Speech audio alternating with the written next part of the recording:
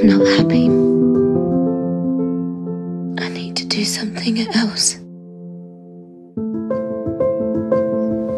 It's a phase. Kids are odd.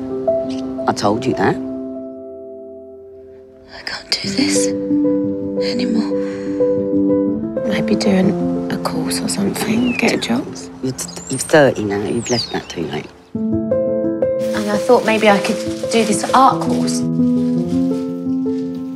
What do you think? Any food? Sometimes we need more courage to stay than to leave. This is this what you fucking care about? Do fucking art! All you do, you never fucking listen to me! Fuck you! Being free and being married, contradiction.